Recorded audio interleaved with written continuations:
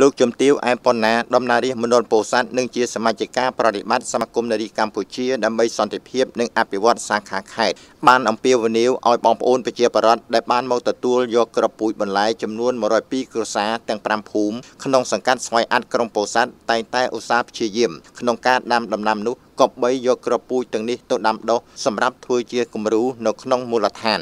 លោកជំទាវអែមប៉ុណ្ណាធ្វើការអំពាវនាវបែបនេះនៅក្នុងពិធីសំណេះសំណាលនិងចែកស្បៀងក្របពូជបន្លែជូនដល់ប្រជាពលរដ្ឋ5ភូមិក្នុងសង្កាត់ស្វាយអាតក្រុងពោធិ៍សាត់ចំនួន102គ្រួសារដោយក្នុងមួយគ្រួសារទទួលបានអង្ករ10គីឡូក្រាមផ្លែចប់កាប់1ក្រមា1និងក្របពូជបន្លែ5មុខជាអំណោយរបស់សាខាសមាគមនារីកម្ពុជា ដើម្បីសន្តិភាពនិងអភិវឌ្ឍដែលបានប្រពធ្វើនៅសាលាសង្កាត់ស្វាយអាត់នាព្រឹកថ្ងៃទី6ខែមិថុនាឆ្នាំ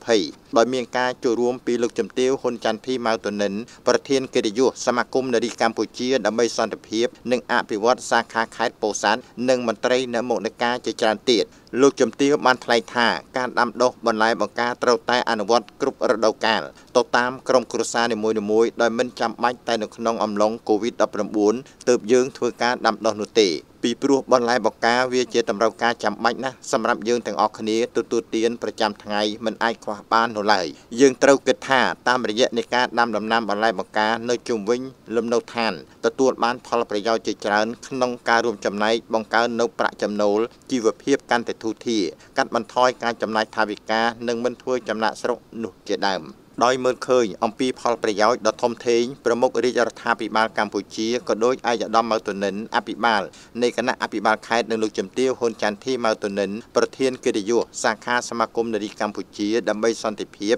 និងអភិវឌ្ឍខេត្តតែងតែខិតខំគៀងគរស្វែងរកប្រភពធនធានសម្រាប់ជួយសម្រួលនិងដោះស្រាយជូនប្រជាពលរដ្ឋនៅក្នុងដែនសមត្ថកិច្ចរបស់ខ្លួនជាបន្តបន្ទាប់ពិសេសនៅក្នុងអំឡុងនៃការផ្ទុះរីករាលដាលនៃជំងឺ Covid-19 ឃើញថានៅក្នុងខេត្តពោធិ៍សាត់យើងពិតជាមានមោទនភាពក្រៃលែងដោយសារពុំមានអ្នកឆ្លងជំងឺនោះឡើយដើម្បីរក្សាបាននូវភាពជោគជ័យបន្តទៅទៀតនោះសូមបងប្អូនប្រជាពលរដ្ឋទាំងអស់នៅក្នុងខេត្តពោធិ៍សាត់ត្រូវអនុវត្តទៅតាមគោលការណ៍និងសេចក្តីណែនាំរបស់ប្រមុខរាជរដ្ឋាភិបាលកម្ពុជាក្រសួងសុខាភិបាល និងរដ្ឋបាលខេត្តជាប់ជាប្រចាំ ហើយនៅពេលទទួលបានក្របពូជបន្លែបកានេះក៏បីយកទៅដាំដុះកុំទុកឲ្យដីចំការនិងដីនៅជុំវិញលំនៅឋានចោលទំនេរព្រោះថាពេលនេះគឺឈានចូលរដូវវស្សាទីកន្លែងមួយចំនួនមានទឹកភ្លៀងគ្រប់គ្រាន់ងាយស្រួលក្នុងការស្រោចស្រពដំណាំមិនដូចរដូវប្រាំងនោះឡើយ ចំពោះការដាំដុះបន្លែបង្ការសូមបងប្អូនប្រជាពលរដ្ឋយើងត្រូវគិតគូរ